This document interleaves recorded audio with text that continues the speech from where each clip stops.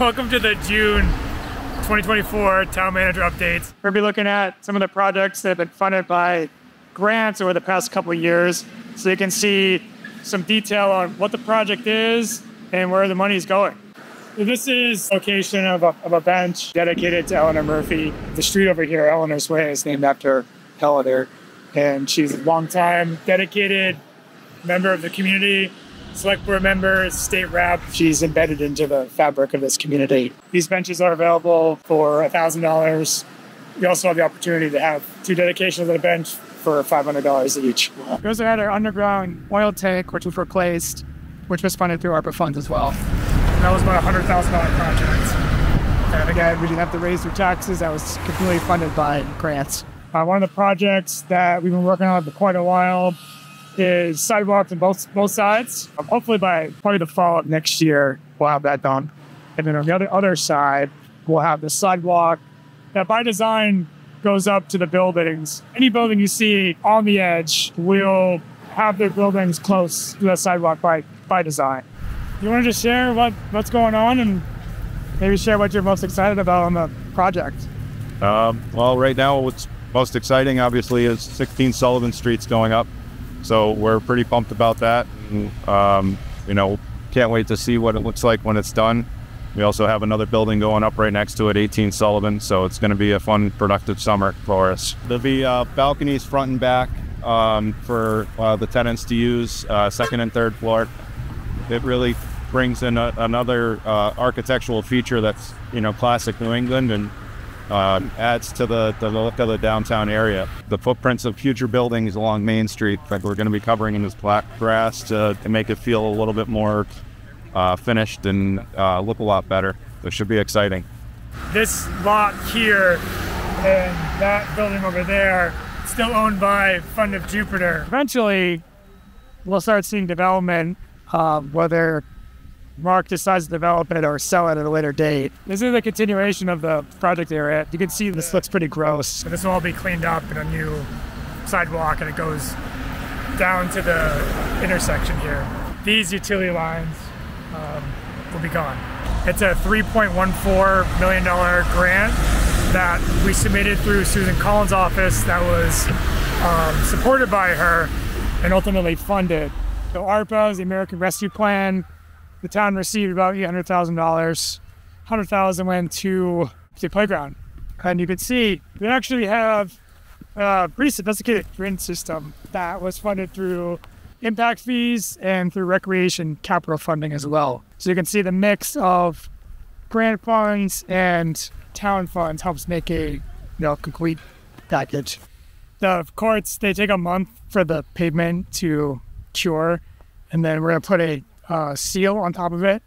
And after that, we're going to stripe them and then adjust the hoops to make sure that they're all level and 10 feet. This is um, used as a park and ride primarily for the shipyard. You can park here and visit the downtown or park here and you know go somewhere else in the area. Pretty soon, DOT will be paving this. This will look a lot nicer with all new pavement and it'll be striped. We have uh, two filter ponds at the fire department. And we were required to do those because we had some wetlands we had to disturb to put in a driveway and ultimately the fire station. Stormwater comes down Sullivan Street and then comes down Wilson Street. The verge is here, that comes through. There's now a six, 60 inch pipe underground that follows Main Street all the way down this way. The pipe continues and follows, well, comes down, comes down this way. 60 inch pipe, it stops here, and we have our pipe, that's that 48 inch pipe that will run through this intersection here, run along the entrance of Gateway Gas, and eventually uh, take a turn down to the river. Going along with that project is bringing in utilities to bring them underground at the same time while they have the street opened up. Down from the fire station, the stream, Sullivan Street, through the edge, through the intersection, outlets down here in this area, and it goes on down the river. So to give you an idea, we spend about $800,000 a year on road construction. Um, this this project here, the outfall project, is a $1.4 million project. And we had to match it at 5%. We used ARPA funding. So we used zero taxpayer funds to fund this entire project, which is almost two years of road construction for the town.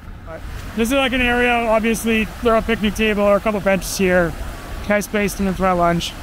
So we can see we have bases for uh, future ornamental lights. We have conduit underneath uh, the sidewalk's going to be. We have on-street parking and sidewalk right, right here running along this section of Mullen Street all the way down. Seeds starting to come in. There'll be railing put in, some fencing. There's going to be a, a ton of landscaping that goes into this. So uh, there'll be a sidewalk and there'll be grass coming in and a ton of plants. The stand water comes down from Mullen Street on both sides. Then it filters in through this pond here. Again, this project was entirely funded through the Maine infrastructure adaptation grant. And by design, it's a DOT funded program to help stormwater maintenance. As we develop the core of the downtown as it kind of comes out, every every space is uh, important. There's definitely some potential back here to, to clean this up a bit. So yeah, 2025, uh, the town funds 10% of the project. Um, it's about a million and a half dollar project that will bring in new bike lanes on both sides and sidewalks, and it'll fix this weird intersection here between School Street and Sawmill. So that, that completes our uh, tour for the day.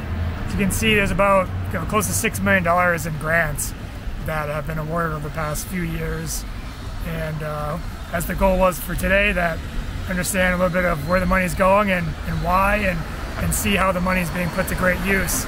Um, these projects, we wouldn't be able to do them. They would just be on the list to do. So it feels really good to actually see these uh, visions come to light.